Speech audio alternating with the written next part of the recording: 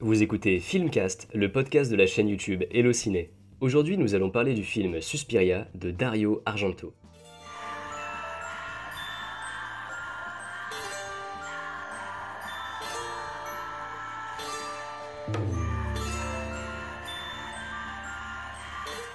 Au début de sa carrière de réalisateur, Dario Argento se concentre principalement sur le giallo. Ses films, tout comme les romans à couverture jaune, giallo signifiant jaune en italien, dont il se réclame, mêlent mystère et meurtre et s'inspire des films à suspense américains auxquels s'ajoutent des scènes baroques de violence et d'excès. En 1977, Dario Argento délaisse le giallo et s'engage dans la voie du fantastique avec le très visuel et inventif Suspiria. Il débute ce qu'il appelle la trilogie des enfers, avec le film Inferno et La Troisième Mère. Il est d'ailleurs scénariste de ses propres films. L'histoire Suzy, une jeune américaine, débarque à Fribourg, en Suisse, pour suivre des cours dans une académie de danse prestigieuse. Au début du film, de son arrivée à l'aéroport jusqu'à l'école, le film installe une atmosphère à la fois inquiétante et mêlée de couleurs criardes où tout semble menaçant. À peine arrivée, l'atmosphère du lieu étrange et inquiétante surprend la jeune fille. Sous le choc, Suzy est bientôt prise de malaise, et le cauchemar ne fait qu'empirer. Suzy apprend alors que l'académie était autrefois la demeure d'une terrible sorcière, surnommée la mère des soupirs.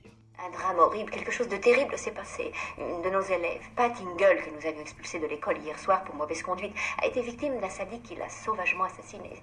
C'est effroyable. Et pourtant, je mets toujours nos élèves en garde, n'est-ce pas, Miss Tanner Je leur recommande de faire attention de ne pas se lier d'amitié avec le premier.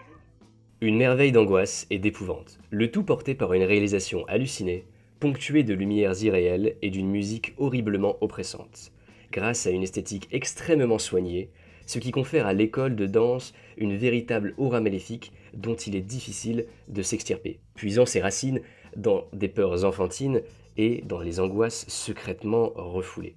Pour ce qui est des anecdotes, c'est le groupe Gobelin qui composa la musique de Suspiria, ainsi que pour d'autres films de Dario Argento. Ce dernier faisait jouer à plein volume sur les plateaux de tournage pour obtenir des réactions suffisamment convaincantes de ses acteurs.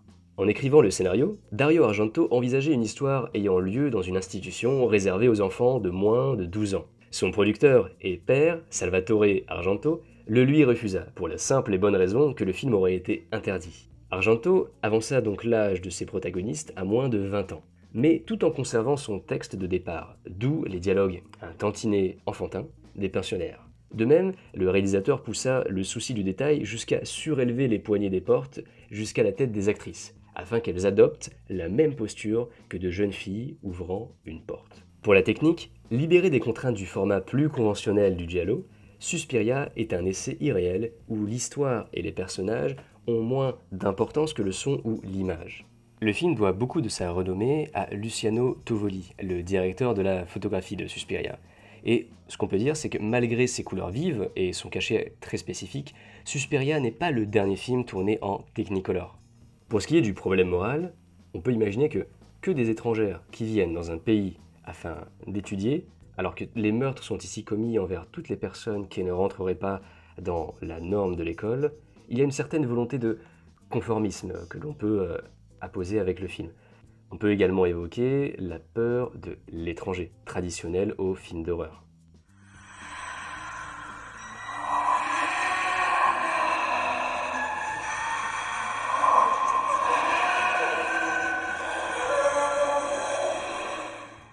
Pour ce qui est des références actuelles, on peut citer le film The Neon Demon de Nicolas Winding Refn, où, dans la place de Suzy, on pourrait imaginer l'actrice Elle Fanning. Et c'est donc ici que se termine ce podcast. Si vous avez aimé, n'oubliez pas de vous abonner à Hello Ciné sur la plateforme de podcast de votre choix. Et pour finir, si vous appréciez l'approche du cinéma que je défends sur Hello Ciné, eh bien j'ai besoin d'un petit coup de pouce. Premièrement, en me laissant une évaluation sur la plateforme de podcast que vous utilisez, ça m'aidera énormément. Et deuxièmement, si cet épisode vous a plu, partagez-le à un ami pour qu'il en bénéficie. Voilà, on se retrouve très vite. Salut